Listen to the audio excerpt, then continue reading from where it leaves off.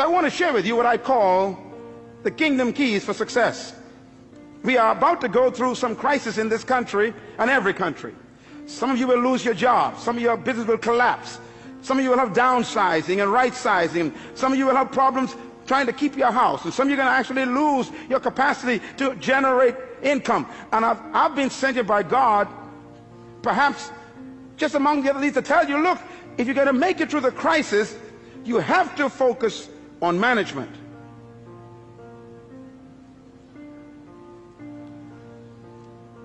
Here's God's successful key. Genesis 1:28 says these words, and the Lord blessed them, and God said unto them, Be fruitful and multiply and replenish the earth and subdue it, and have dominion over the fish of the sea, the fowl of the air, and over every living thing that creeps upon the ground. Now, listen carefully because this is really the heart of God's mandate. In Genesis 1:26, God says these words about you. Let them have dominion over the earth. In Genesis chapter 1 verse 28, God tells us how to do it. Dominion means to govern, to rule, to control, to manage, to lead. Now in verse 28, he tells us how to dominate the earth. He gives us the process. Please get your pen. You're going to write this down because anyone who wants to dominate in the earth will have to follow God's simple process. First of all, the four keys of principles of success in God's program. Number one, be fruitful. God never said to be seedful. The first command God gave man was to be what? Fruitful. It's impossible to, be, to produce fruit unless it was preceded by seed. God will never demand what doesn't exist already. So God's first command is to be fruitful. Now when I looked at the word fruitful in the original Hebrew, it does not mean to have children. It shocked me.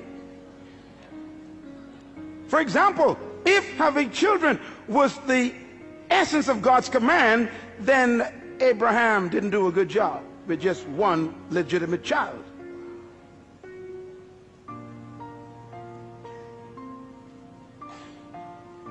The word fruitful, write it down, it means productive.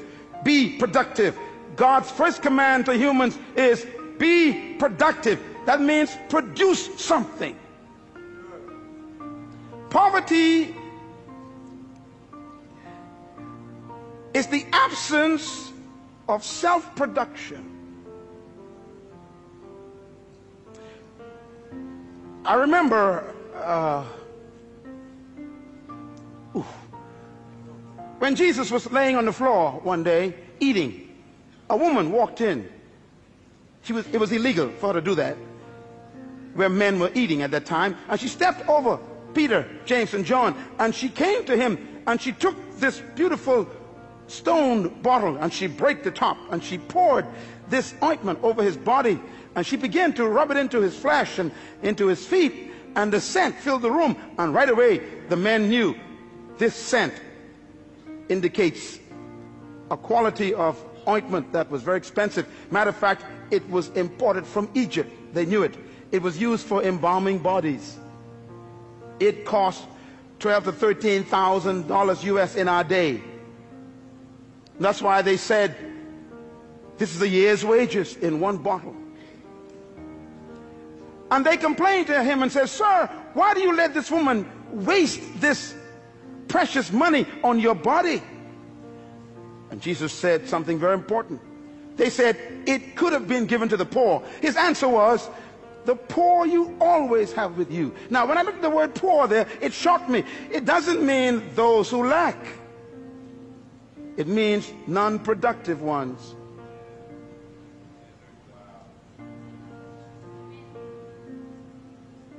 The first command of God is produce.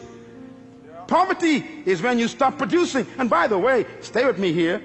God said to Adam, be fruitful. God never gave Adam a chair or a table. He hid them in the trees.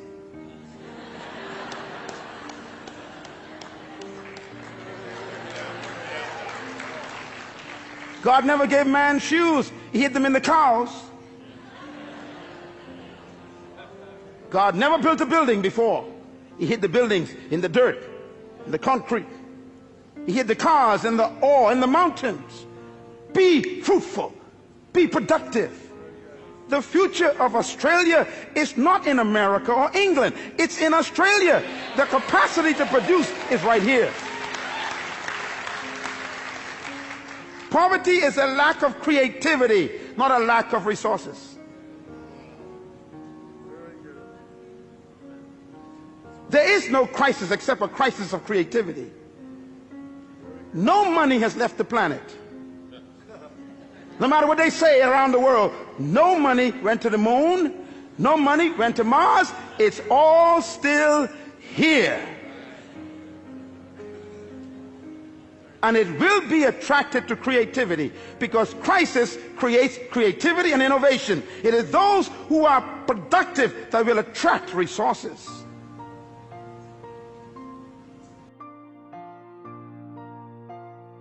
Is multiply. Multiply means to reproduce what you produced. If you follow any successful company, you know, I was driving here a moment ago and I just saw McDonald's. And McDonald's uh, is far away from its original headquarters in, uh, in Orlando. And uh, it's amazing when you go to McDonald's in any part of the world, it's the same burger. McDonald's has discovered God's program more effectively than the church. First of all, you what? Produce. Everybody say produce. In other words, you produce something. You produce one good item. McDonald's produced a product called Big Mac. You cannot find the Mac anywhere else. That's their fruit. But having a good product, you will still die of starvation. A good idea doesn't make you wealthy or successful. You got to be able to move to stage number two multiply reproduce it. McDonald's have developed a system that can produce one billion burgers every single month. And it's the same Big Mac. In China, in Ukraine, in Mexico, it's the same burger. In the Bahamas, in Jamaica, in Trinidad, in London, it's the same burger. Why? They have learned to move God's second stage. They produce and then they reproduce. Every successful business on earth has stolen God's process, and only the church have missed it. That's why we're broke. Microsoft, Bill Gates produced one good fruit. And then he put the system in to multiply it.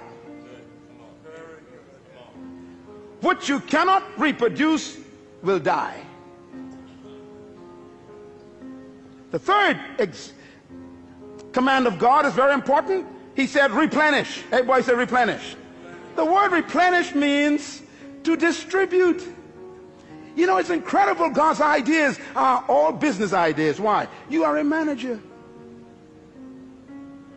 No matter how good your product is, and no matter how many times you reproduce it, nothing can destroy a company faster than dead inventory. Come on, businessmen, talk to me. You can have the best product in the world in the warehouse and still die of starvation. You must move to the third level of success, and that is distribution. This church was not built by God just to become a good product. He wants to reproduce this a thousand times in the city. And then he wants to distribute it to other nations of the world.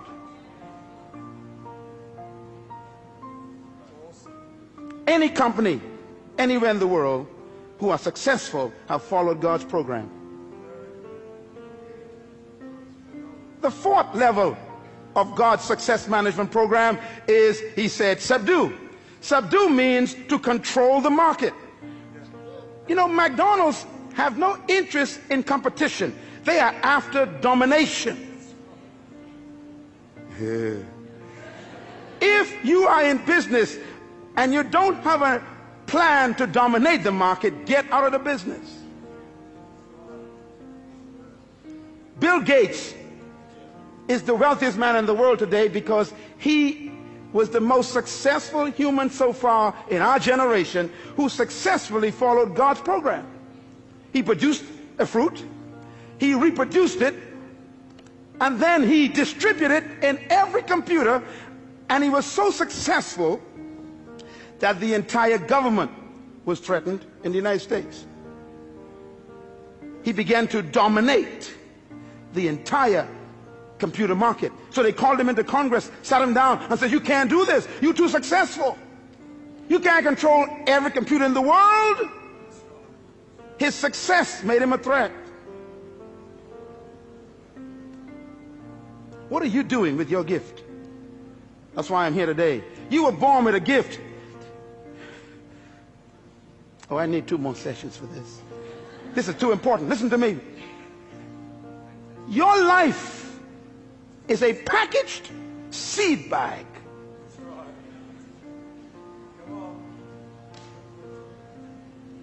Subdue, control. And God says if you follow these four principles, be fruitful, produce your gift, your product, multiply, reproduce it, replenish, distribute it, subdue, control the market, the result will be dominion. Dominion, therefore, is not a pursuit, it's a result.